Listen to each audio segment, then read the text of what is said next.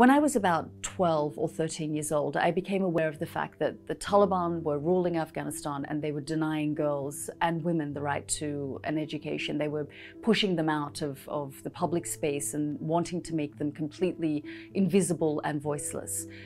So I feel completely horrified now, uh, devastated by the fact that as an adult, 25 years on from then, I'm still talking about the fact that girls and women are being denied the right to learn in Afghanistan. The fact that we are now back at square one. I am very much aware of the fact that had my parents not left Afghanistan, I too, like millions of Afghan girls and women in the country, could have been denied the right to an education, whether that was in the 90s when the Taliban were first in power or whether that is today. Afghanistan is now the only country on the planet that is denying girls the right to an education, that is denying girls and women their basic human rights.